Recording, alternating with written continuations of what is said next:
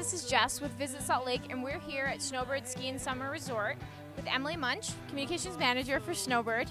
Snowbird is included in the Visit Salt Lake Connect Pass, and Emily's going to tell us about some of the things going on here during the summer.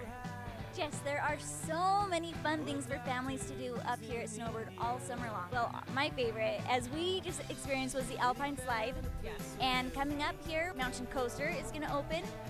And I'm so excited for that one. It's going to be a lot like the Alpine Slide, only you're on fixed rails. So you don't have to worry about braking, although you can. You'll have your own handbrake. Okay.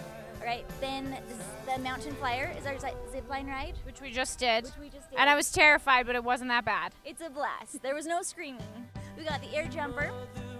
We've got a ropes course, a climbing wall, and then for the really little kids, we have the bounce houses, and one's a spaceship, which is my favorite.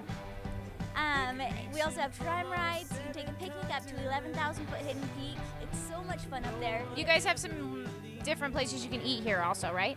Right, we have the Aerie, the Wildflower, the Lodge Bistro. You can go over here to the forklift and have something on the patio. The steak pit's open all summer.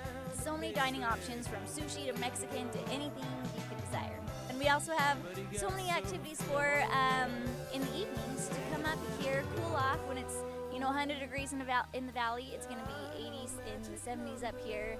Uh, family flicks on Friday nights. Every Friday night, there's a free movie up here on the plaza deck. It's outdoors. And then Saturday nights, we've got uh, the Cool Air Concert Series. And they can go on to snowbird.com to get that information. Yep, all the info's at snowbird.com.